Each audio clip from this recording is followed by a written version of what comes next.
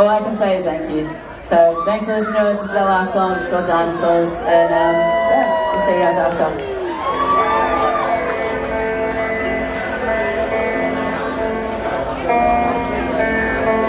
I'm scared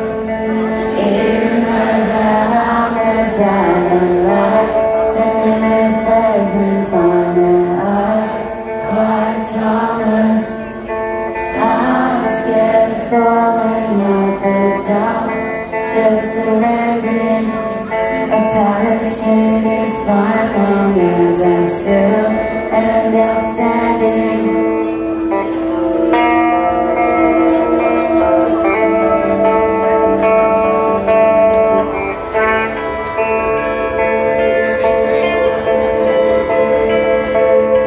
And I